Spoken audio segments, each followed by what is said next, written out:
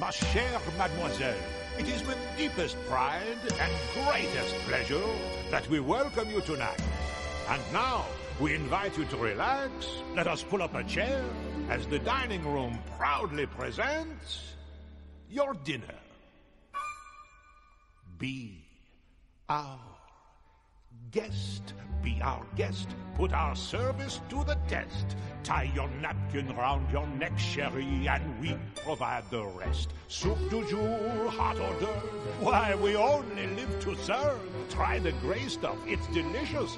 Don't believe me? Ask the dishes. They can sing, they can dance. After all, miss, this is France. And a dinner here is never second best. Go on, unfold your menu, take a glance, and then you'll be our guest. We our guest, be our guest. Beef ragout, cheese soufflé, pie and pudding on flambe. We'll prepare and serve with flair a culinary cabaret.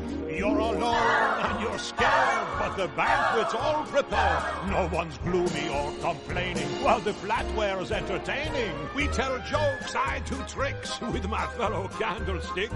Put it all in perfect taste that you can bear. Come on and lift your glass. You've won your own free pass to be our guest. If you're stressed, it's fine dining we suggest.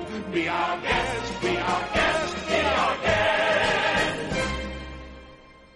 Life is so unnerving for a servant who's not serving. He's not whole without a soul to wait upon.